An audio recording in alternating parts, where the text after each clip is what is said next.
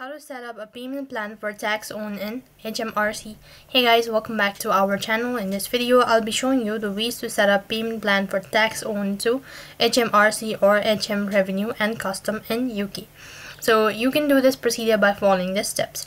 Before setting up a payment, ensure that you're eligible. Generally, HMRC allows taxpayer to set up a payment plans if they cannot afford to pay their tax bill in full by the due date. Then you can determine the total amount of your tax you owe to HMRC. This include any outstanding tax liabilities, penalties, interest or other charges as well. And HMRC offers different payment plan options depending on the amount you own and your financial situation.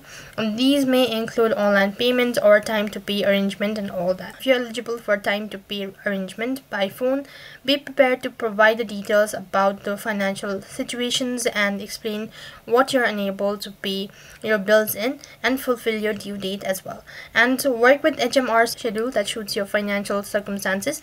This may involve monthly installment or other arrangement depending on your ability to pay and likewise if required set up the direct debit or standing order to make payments to HMRC according to agreed upon schedule this measures the payments are made automatically and on time. You can monitor your payments and all sort of things. So that's basically how you can set up payment plan tax on an HMRC. So that is all for this video. I hope the video was helpful. Make sure like, share and subscribe to our channel. Thank you for watching. See you in the next video.